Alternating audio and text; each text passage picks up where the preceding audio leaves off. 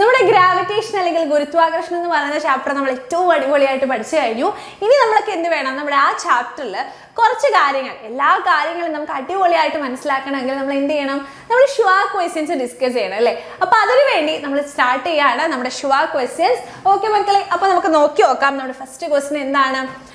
The gravitational force of attraction between two bodies of mass m1 m2 separated by a distance d is f is equal to g m1 m2 divided by d square. The value of g is m1 m2 എന്നീ മാസുള്ള രണ്ട് വസ്തുക്കൾ d അകലത്തിലിരുന്നാൽ അവയ്ക്കിടയിലുള്ള ഗുരുത്വാകർഷണ ബലം G M one M two divided by D square ആണ് ഇവിടെ ജിയുടെ മൂല്യം എത്ര എന്നാണ് ക്വസ്റ്റ്യൻ അപ്പൊ നമുക്ക് ഓൾറെഡി അറിയാം നമ്മുടെ യൂണിവേഴ്സൽ ലോ ഓഫ് ഗ്രാവിറ്റേഷനിൽ പഠിച്ചതാണ് എം വൺ മാസിനെയും എം ടു മാസിനെയും എം വൺ മാസിനെയും എം ടു മാസിനെയും ഡി ഡിസ്റ്റൻസിൽ നമ്മൾ സെപ്പറേറ്റ് ചെയ്യുകയാണെങ്കിൽ ഇവരുടെ ഇടയിലുള്ള ഫോഴ്സ് ഓഫ് അട്രാക്ഷൻ എഫ് എന്ന് പറയുന്നത് പ്രപ്പോർഷണൽ ടു അവയുടെ മാസുകളുടെ ഗുണനഫലത്തിന് നേരനുപാതത്തിലും അവ തമ്മിലുള്ള ഡിസ്റ്റൻസിന്റെ സ്ക്വയർ ഡിസ്റ്റൻസിന്റെ സ്ക്വയറിന് വിപരീതാനുപാതത്തിലുമാണെന്ന് നമ്മൾ ഓൾറെഡി പഠിച്ചു കഴിഞ്ഞാണ് അല്ലെ?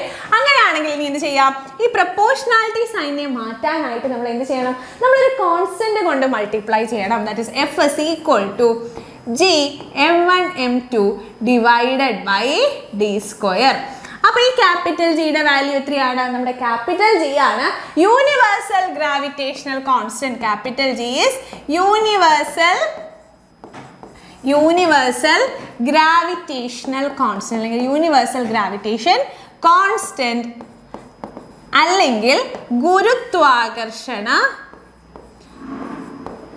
ഗുരുത്വാകർഷണ സ്ഥിരാംഗം ഗുരുത്വാകർഷണ സ്ഥിരാംഗമാണ് ആര്? നമ്മുടെ ക്യാപിറ്റൽ ജി എന്ന് പറയുന്നത്. റെഡി മക്കളെ? അങ്ങനെയാണെങ്കിൽ നമ്മളടുത്ത് എന്താ ചോദിച്ചിരിക്കുന്നത്? ജിയുടെ വാല്യൂ ആണ് അല്ലേ? അപ്പൊ ജിയുടെ വാല്യൂ എന്ന് പറയുന്നത് എത്രയാണ്? Six point six seven into ten raise to minus eleven newton metre square per kilogram square ആണ്. അപ്പൊ ആർക്കും തെറ്റിപ്പോകരുത് നമ്മുടെ ഓപ്ഷൻ ബി ആണ് correct answer six point six seven into ten raise to minus eleven newton metre square per kilogram square ആണ് answer വരുന്നത്. ആരും തെറ്റിപ്പോകരുത്. ക്യാപിറ്റൽ ജി ആണ് ഗ്രാവിറ്റേഷണൽ കോൺസ്റ്റന്റ് കേട്ടോ. സ്മോൾ ജി എന്താണ് നമ്മുടെ ആക്സലറേഷൻ ഡ്യൂ ടു ഗ്രാവിറ്റി ആണ് തെറ്റിക്കരുത്. അങ്ങനെയാണെങ്കിൽ നമ്മുടെ നെക്സ്റ്റ് ക്വസ്റ്റ്യൻ എന്താണ്? നൂറ് ഗ്രാം ഇരുന്നൂറ് ഗ്രാം അല്ലെ? നൂറ് ഗ്രാം മാസുള്ള ഒരു ബോൾ അല്ലെ? നൂറ് ഗ്രാം മാസുള്ള ഒരു ബോൾ ഉണ്ട്. പിന്നെ ആരാണുള്ളത് ഇരുന്നൂറ് ഗ്രാം മാസുള്ള വേറൊരു ബോൾ നൂറ് ഗ്രാം മാസുള്ള ഒരു ബോൾ ഉണ്ട്. ഇരുന്നൂറ് ഗ്രാം മാസുള്ള ഒരു ബോൾ ഉണ്ട്. ഇവർ എന്ത് ചെയ്യാണ്? ഒരേ ഹൈറ്റിൽ നിന്നും താഴോട്ട് ഒരുമിച്ച് താഴോട്ട് ഇട ഇടുകയാണ് അല്ലെ? Two metal spheres of mass hundred gram and two hundred gram are allowed to fall on fall simultaneously from the same height അങ്ങനെയാണെങ്കിൽ which one will reach the ground first ആരായിരിക്കും ആദ്യം താഴേക്ക് എത്തുക? ആരായിരിക്കും ആദ്യം താഴേക്ക് താഴേക്ക് എത്തുക നൂറ് ഗ്രാം ആണോ ഇരുന്നൂറ് ഗ്രാം ആണോ അതോ രണ്ടും ഒരുമിച്ചാണോ എത്തുക? ഉറപ്പായിട്ടും നമുക്ക് ആൻസർ ചെയ്യാനായിട്ട് പറ്റും. ബോത്ത് വിൽ റീച്ച് സൈമൾട്ടേനിയസ്ലി അല്ലെ? Both will reach both will reach both will reach simultaneously both will reach simultaneously reason എന്താണ്? ബോത്ത് വിൽ റീച്ച് സൈമൾട്ടേനിയസ്ലി എന്ന് പറയാൻ കാരണം എന്താണ് മക്കളെ? ആലോചിച്ച് ചോദിക്കുക ഇപ്പൊ നൂറ് ഗ്രാമും ഇരുന്നൂറ് ഗ്രാമും താഴേക്ക് വീഴുകയാണെങ്കിൽ നമുക്കറിയാം ഇവരുടെ പുറത്ത് acceleration due to gravity G ഉണ്ടാവും അല്ലെ? ഇവരുടെ പുറത്തുണ്ടാവുന്ന ആക്സിലറേഷൻ ഡ്യൂ ടു ഗ്രാവിറ്റി എന്ന് പറയുന്നത് G capital M divided by R square ആണ്. ഇതിൽ ഇവർ തമ്മിലുള്ള വ്യത്യാസം എന്താണ്? ഇവർ തമ്മിലുള്ള ആകെ വ്യത്യാസം എന്ന് പറയുന്നത് ഇവരുടെ മാസ് ആണ് അല്ലെ? നമ്മുടെ ആക്സിലറേഷൻ ഡ്യൂ ടു ഗ്രാവിറ്റി അല്ലെങ്കിൽ ഭൂഗുരുത്വ ത്വരണം എന്തിനെ ഡിപ്പെൻഡ് ചെയ്യുന്നില്ല? ആ ഒബ്ജക്റ്റിന്റെ മാസ് അല്ലെങ്കിൽ വസ്തുവിന്റെ മാസുമായിട്ട് യാതൊരു ബന്ധവുമില്ല അതുകൊണ്ട് acceleration due to gravity is independent of small M ആണ്. അല്ലെങ്കിൽ ഒബ്ജക്റ്റ് മാസ് ആണ് so both will reach simultaneously ആണ് കറക്റ്റ് ആൻസർ വരിക. ജസ്റ്റിഫൈ യുവർ ആൻസർ ഉത്തരം സാധൂകരിക്കുന്നതിൽ നമ്മൾ എന്ത് ചെയ്തു? എഴുതി കൊടുക്കുക. ഒബ്ജക്റ്റ് മാസ് അല്ലെങ്കിൽ വസ്തുവിന്റെ ഭാരം നമ്മുടെ ആക്സിലറേഷൻ ഡ്യൂ ടു ഗ്രാവിറ്റി അല്ലെങ്കിൽ ഭൂഗുരുത്വ ത്വരണത്തിന് ഡിപ്പെൻഡ് ചെയ്യുന്നില്ല അല്ലെങ്കിൽ സ്വാധീനിക്കുന്നില്ല എന്ന് നമ്മൾ എഴുതി കൊടുക്കുക. റെഡി അങ്ങനെയാണെങ്കിൽ നമ്മുടെ നെക്സ്റ്റ് ക്വസ്റ്റൻ എന്താണ്? Observe instruments A B shown in figure instrument എയും ഉണ്ട് ഇൻസ്ട്രുമെന്റ് ബിയും ഉണ്ട്. Among these which is use to measure weight weight measure ചെയ്യാനായിട്ട് ഇവയിൽ ഏത് ഉപകരണം ഉപയോഗിച്ചാണ് ഭാരം അളക്കുന്നത്? ഭാരം അളക്കുന്നതിനായിട്ട് നമ്മുടെ ഇൻസ്ട്രുമെന്റ് ബി ആണ് അല്ലെ? നമ്മുടെ ഇൻസ്ട്രുമെന്റ് ബി അല്ലെങ്കിൽ ഉപകരണം ബി ആണ്. ഉപകരണം ബി എന്നാണ് നമ്മുടെ സ്പ്രിംഗ് ബാലൻസ് ആണ്. നമ്മുടെ സ്പ്രിംഗ് ബാലൻസ് ആണെന്നുള്ള കാര്യം മനസ്സിലാക്കാം. റെഡി അങ്ങനെയാണെങ്കിൽ നമുക്ക് എന്ത് ചെയ്യാം? നമ്മുടെ ഇൻസ്ട്രുമെന്റ് എന്റെ പേര് എന്താണ്? ഇൻസ്ട്രുമെന്റ് എന്റെ പേര് കോമൺ ബാലൻസ് ആണ് കേട്ടോ കോമൺ ബാലൻസ് എന്ത് മെഷർ ചെയ്യാനാണ് ഉപയോഗിക്കുന്നത്? കോമൺ ബാലൻസ് മാസ് മെഷർ ചെയ്യാനാണ് ഉപയോഗിക്കുന്നത്. റെഡി അങ്ങനെയാണെങ്കിൽ നമ്മുടെ നെക്സ്റ്റ് ക്വസ്റ്റ്യൻ എന്താണ്? എയും സിയും തമ്മിലുള്ള ആകർഷണ ബലം കണക്കാക്കുക. രണ്ട് ഒബ്ജക്ട്സ് ഉണ്ടെങ്കിൽ അവർ തമ്മിലുള്ള അട്രാക്റ്റീവ് ഫോഴ്സ് നമ്മൾ എങ്ങനെ കണ്ടുപിടിക്കുക? F S equal to F S equal to F S equal എല്ലാവരും പെന്നും പേപ്പറും എടുത്തിട്ട് എഴുതി നോക്കുക G M one M two divided by D square ആണ്. അപ്പൊ മക്കളെ നിങ്ങൾ ആലോചിച്ച് വെക്കുക. രണ്ട് മാസുകൾ തന്നു. അവരുടെ ഇടയിലെ ഡിസ്റ്റൻസ് തന്നു. എന്നിട്ട് നിങ്ങളടുത്ത് അട്രാക്റ്റീവ് ഫോഴ്സ് എത്ര എന്ന് ചോദിക്കുകയാണെങ്കിൽ ഈ ഇക്വേഷൻ നിങ്ങൾ യൂസ് ചെയ്താൽ മതി. ഓക്കെ അപ്പോൾ ജീന്റെ വില നമുക്കറിയാം അല്ലേ? That six point six seven into ten raise to minus eleven into mass M വണ്ണും എം ടുവും എത്രയാണ്? പത്ത് കെ ജിയും നാൽപ്പത് കെ ജിയും forty into ten divided by ഇവരുടെ ഇടയിലുള്ള ഡിസ്റ്റൻസ് ടു മീറ്റർ അപ്പോൾ ടു സ്ക്വയർ അല്ലേ? ടു സ്ക്വയർ ടു സ്ക്വയർ എന്ന് പറയുമ്പോൾ four six point six seven into ten raise to minus eleven into നാല് ഇന്റു ഒന്ന്. നാല് പിന്നെ രണ്ട് പൂജ്യം. ഡിവൈഡഡ് ബൈ ടു സ്ക്വയർ എത്രയാണ്? ടു സ്ക്വയർ ഫോർ അല്ലേ? അപ്പൊ നാനൂറ് ബൈ നാല് എത്രയാണ്? നാനൂറ് ബൈ നാല് എന്ന് പറഞ്ഞാൽ നമുക്ക് വെട്ടിക്കളയാം നൂറാകും അല്ലെ? Six point six seven into ten raise to minus eleven എന്ന് പറഞ്ഞാൽ എത്ര വരും? Six point six seven into ten raise to minus eleven six point six seven into ten raise to minus eleven ആണ്. ഇന്റു ഹൺഡ്രഡ് ആണ് അല്ലേ? അപ്പൊ നമുക്ക് എന്ത് ചെയ്യാം? എത്ര വരിക? Six point six seven into hundred എന്ന് പറഞ്ഞാൽ six sixty seven into ten raise to minus eleven newton ആണ് എന്ത് വരുന്നത്?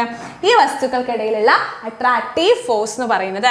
ഒന്നുമില്ല നമ്മൾ എന്ത് ചെയ്താൽ മതി? ജസ്റ്റ് നമ്മുടെ മാസ് എം വൺ കൊടുക്കുക എം ടു കൊടുക്കുക ജിയുടെ വാല്യൂ കൊടുക്കുക ഡിസ്റ്റൻസ് കൊടുക്കുക. ജസ്റ്റ് കാൽക്കുലേഷൻ മാത്രമേ ഉള്ളൂ. ഓക്കെ അങ്ങനെയാണെങ്കിൽ എ എന്ന വസ്തുവിന്റെ മാസ് പകുതിയാക്കിയാൽ ആകർഷണ ബലത്തിന് എന്ത് മാറ്റം ഉണ്ടാകും എ എന്ന വസ്തുവിന്റെ മാസ് പകുതിയാക്കിയാൽ എന്താ മാറ്റം ഉണ്ടാകുക എന്നാണ് ക്വസ്റ്റ്യൻ അങ്ങനെയാണെങ്കിൽ നമുക്ക് നോക്കി നോക്കാം. എ എന്ന വസ്തുവിന്റെ മാസ് പകുതിയാക്കണം അല്ലെ? അങ്ങനെയാണെങ്കിൽ എഫ് എസ് ഈക്വൽ ടു എത്രയായിരിക്കും വരിക? നോക്കി നോക്കാം. എ എന്ന വസ്തുവിന്റെ മാസ് ഇപ്പൊ എത്രയാണ്? ഇപ്പൊ പത്താണ് അല്ലെ? ഇപ്പൊ പത്താണ്. അങ്ങനെയാണെങ്കിൽ എത്രയായിരിക്കും എത്ര ഫോഴ്സ് ഓഫ് അട്രാക്ഷൻ ആണ് ഉണ്ടാവുക എന്നാണ് ക്വസ്റ്റ്യൻ അല്ലെ? അപ്പൊ എന്ത് ചെയ്യാം? എ എന്ന വസ്തുവിനെ മാസ് പകുതിയാക്കിയാൽ എത്രയാ? മാസ് പകുതി എന്ന് പറഞ്ഞാൽ അഞ്ച് കെ ജി അല്ലെ? അഞ്ച് കെ ജി ആണ്. ഇപ്പൊ നമ്മുടെ എം വൺ എത്രയാണ്? അഞ്ച് കെ ജി ആണ് കേട്ടോ? ഇപ്പോഴത്തെ എം വൺ എന്ന് പറയുന്നത് ഇപ്പോഴത്തെ എം വൺ എന്ന് പറയുന്നത് അഞ്ച് കെ ജി ആണ്. കാരണം എ എന്ന് പറയുന്ന വസ്തുവിന്റെ മാസം നമ്മൾ പകുതിയാക്കി. ബിയോ ബി എന്താ ചെയ്യുന്നത്? ബി നാൽപ്പത് കെ ജി തന്നെ ബി എം ടു എന്ന് പറയുന്നത് നാൽപ്പത് കെ ജി തന്നെയാണ്. ഓക്കെ അങ്ങനെയാണെങ്കിൽ ജീന്റെ വാല്യൂ എന്ന് പറയുന്നത് six point six seven into ten raise to minus eleven ആണ്. ഇന്റു മാസ് എം വൺ അഞ്ചാണ് എം ടു എന്ന് പറയുന്നത് നാൽപ്പതാണ് ഇവരുടെ ഇടയിലുള്ള ഡിസ്റ്റൻസ് എന്താ? ഡിസ്റ്റൻസ് സെയിം തന്നെയാണ് ഡിസ്റ്റൻസ് എന്ന് പറയുന്നത് എത്രയാണ്? ടു സ്ക്വയർ ആയിരുന്നു അല്ലേ? ടു സ്ക്വയർ അപ്പോൾ എന്താ വരുന്നത് six point six seven into ten raise to minus eleven into അഞ്ച് ഇന്റു നാൽപ്പത്. എത്രയാണ് വരുന്നത്? അഞ്ചും നാലും. ഇരുപത്. അല്ലേ? അഞ്ചും നാലും ഇരുപതാണ്. പിന്നെ ഒരു പൂജ്യം കൂടെ divided by two square four ആണ്. അല്ലെ? അപ്പൊ ഇരുന്നൂറ് ബൈ നാല് എത്രയാണ്? ഇരുന്നൂറ് ബൈ നാല് എന്ന് പറഞ്ഞാൽ അൻപതാണ് അല്ലെ? അൻപതാണ്. റെഡി ഇരുന്നൂറ് ബൈ നാല് എന്ന് പറഞ്ഞാൽ അമ്പതാണ്. ഇനി നമുക്ക് എന്ത് ചെയ്യാം? സിക്സ് സിക്സ്റ്റി സെവൻ ഇന്റു അഞ്ച് ചെയ്ത് നോക്കാം. Sixty six sixty seven into അഞ്ച് എത്രയാണ് വരിക? ഏഴ് അഞ്ച് മുപ്പത്തഞ്ചിന് അഞ്ചാണ്. ആറഞ്ച് മുപ്പത്. ആറഞ്ച് മുപ്പതും മൂന്നും മുപ്പത്തി മൂന്ന്. മുപ്പത്തി മൂന്നിന് മൂന്നാണ്. ആറഞ്ച് മുപ്പതും മൂന്നും മുപ്പത്തി മൂന്ന്. അല്ലെ? ഏഴഞ്ച് മുപ്പത്തഞ്ചിന് അഞ്ചാണ്. ആറഞ്ച് മുപ്പതും മൂന്ന് മുപ്പത്തി മൂന്ന് ആറഞ്ച് മുപ്പതും മൂന്ന് മുപ്പത്തി മൂന്ന് റെഡി അപ്പൊ നമുക്ക് എത്രയാ കിട്ടുന്നത്? ത്രീ ത്രീ ത്രീ ഫൈവ് പിന്നെ നമ്മൾ എന്താ നമ്മൾ six sixty seven into five ആ ചെയ്ത്. ശരിക്കും ചെയ്യേണ്ടത് എന്താ?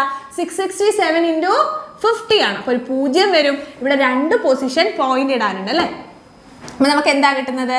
Into ten raise to minus eleven അപ്പൊ three thirty three point five zero into ten raise to minus eleven newton ആണ് ആൻസർ വരുന്നത്. ഇവിടെയോ? ഇവിടെ six six sixty seven into ten raise to minus eleven ഇവിടെ three three three three thirty three point five അതായത് മാസ പകുതിയാക്കിയപ്പോൾ force of attraction എന്ത് ചെയ്യുന്നുണ്ട്? മാസ പകുതിയാക്കിയപ്പോൾ ഫോഴ്സ് ഓഫ് അട്രാക്ഷൻ കുറയുന്നുണ്ട്. അല്ലെ? ഏതാണ്ട് പകുതിയോളം ഫോഴ്സ് ഓഫ് അട്രാക്ഷൻ കുറഞ്ഞു. മാസ പകുതിയാക്കിയപ്പോൾ ഫോഴ്സ് ഓഫ് അട്രാക്ഷൻ കുറയുന്നുണ്ട് എന്ന് മനസ്സിലായി. അതായത് നമുക്ക് നമുക്ക് ഇക്വേഷൻ നോക്കിയിട്ട് തന്നെ പറയാം. കാരണം മാസമായിട്ട് മാസുകളുടെ പ്രോഡക്റ്റുമായിട്ട് ഡയറക്റ്റ് പ്രപ്പോർഷണൽ ആണ്. റെഡി അങ്ങനെയാണെങ്കിൽ നമുക്ക് എന്ത് പറയാം? എ എന്ന വസ്തുവിന്റെ മാസ് പകുതിയാക്കിയാൽ ആകർഷണ ബലം കുറയുന്നു എന്ന് പറയാം. ഏതാണ്ട് പകുതിയോളം മാസ് കുറഞ്ഞു. സോറി ഫോഴ്സ് ഓഫ് അട്രാക്ഷൻ കുറഞ്ഞു. എ സി ഇവയുടെ മാസുകൾ മാസുകൾ മാറ്റാതെ ആകർഷണ ബലം കൂട്ടാൻ ഒരു ഒരു മാർഗം നിർദ്ദേശിക്കുക. അല്ലെ? അപ്പൊ ഇവരുടെ ഇടയിലുള്ള ഫോഴ്സ് ഓഫ് അട്രാക്ഷൻ എഫ് എന്ന് പറയുന്നത് എന്താണ്? G M one M two divided by D square ആണ്.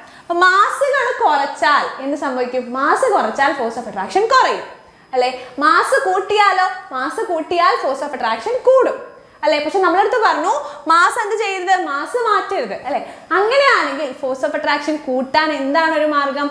ഫോഴ്സ് ഓഫ് അട്രാക്ഷൻ കൂട്ടാൻ ആകെ ഒരു മാർഗമേ ഉള്ളൂ. ഡിസ്റ്റൻസ് കുറഞ്ഞാൽ ഫോഴ്സ് ഓഫ് അട്രാക്ഷൻ കൂടും അല്ലെ? അപ്പൊ എം വൺ മാസിന്റെയും എം ടു മാസിന്റെയും ഇടയിലുള്ള അകലം അല്ലെങ്കിൽ ഡിസ്റ്റൻസ് കുറയ്ക്കാം. ഡിസ്റ്റൻസ് കുറയ്ക്കുക എന്നുള്ളതാണ് ഫോഴ്സ് ഓഫ് അട്രാക്ഷൻ കൂട്ടാ കൂട്ടാനായിട്ട് ആകെയുള്ള ഒരു മാർഗം എന്ന് പറയുന്നത്. ക്ലിയർ ആണോ? അപ്പൊ ഇത്രയും ക്വസ്റ്റ്യൻസ് ഏറ്റവും അടിപൊളിയായിട്ട് എന്റെ കുട്ടികൾക്ക് ക്ലിയർ ആയെന്ന് മിസ് വിചാരിക്കുകയാണ്. അപ്പോൾ നമുക്ക് എന്ത് ചെയ്യാം? മിസ് ഒരു ക്വസ്റ്റ്യൻ ചോദിക്കാം. അത് നിങ്ങൾ ഏറ്റവും ഏറ്റവും നിങ്ങൾ ആലോചിച്ച് ആലോചിച്ച് ആലോചിച്ച് ഏറ്റവും കറക്റ്റ് ആയിട്ടുള്ള ആൻസർ നമ്മുടെ കമന്റ് ബോക്സിൽ എഴുതുക. എന്താണ് മിസ്സിന്റെ ക്വസ്റ്റ്യൻ നമ്മുടെ ഒരു ഹോസും ഒരു ഹോസും ഒരു ഒരു ഏതാ വരയ്ക്കുക? ഒരു ഹോസും ഒരു ആന്റും ഒരു ഹോസും ഒരു ആന്റും ഒരു ഫൈവ് സ്റ്റോറി ബിൽഡിംഗിൽ നിന്ന് ഒരു അഞ്ച് നില കെട്ടിടത്തിന്റെ മുകളിൽ നിന്ന് താഴോട്ട് വീഴുകയാണെങ്കിൽ ആരായിരിക്കും ആദ്യം താഴെ എത്തുക? ഓ ആരായിരിക്കും താഴെ എത്തുക? ഓപ്ഷൻ എ എന്താണ്? ഹോസ് താഴെ എത്തും. ഓപ്ഷൻ എ ആരായിരിക്കും താഴെ എത്തുക? ഓപ്ഷൻ എ എന്താണ്? ഹോസ് ഓപ്ഷൻ ബി എന്ന് പറയുന്നത് ആൻഡ് ആണ്. ഓപ്ഷൻ സി എന്ന് പറയുന്നത് ബോത്ത് ബോത്ത് ഒരുമിച്ച് താഴെ എത്തുന്നാണ് പറയുന്നത്. റെഡി അങ്ങനെയാണെങ്കിൽ അഞ്ച് നില കെട്ടിടത്തിന്റെ മുകളിൽ നിന്നും ഹോസും ആൻഡും താഴേക്ക് വീഴുകയാണെങ്കിൽ ആരായിരിക്കും ആദ്യം താഴെ എത്തുക ഹോസ് ആണോ ആൻഡ് ആണോ ബോത്ത് വിൽ റീച്ച് സൈമൾട്ടേനിയസ്ലി ആണോ? Both will reach simultaneously both will reach simultaneously ആണോ? നമ്മുടെ ഓപ്ഷൻ എ ആണോ ബി ആണോ സി ആണോ എന്ന് കമന്റ് ചെയ്യുക. അപ്പൊ എല്ലാവർക്കും ഫുൾ ക്ലിയർ ആയി എന്ന് വിചാരിക്കുകയാണ്. നന്നായിട്ട് ആലോചിച്ച് നമ്മുടെ ആക്സിലറേഷൻ ഡ്യൂ ടു ഗ്രാവിറ്റിയുടെ കാര്യമൊക്കെ ആലോചിച്ച് ഈ ക്വസ്റ്റ്യന്റെ ആൻസർ നമ്മുടെ കമന്റ് ബോക്സിൽ കമന്റ് ചെയ്യുക.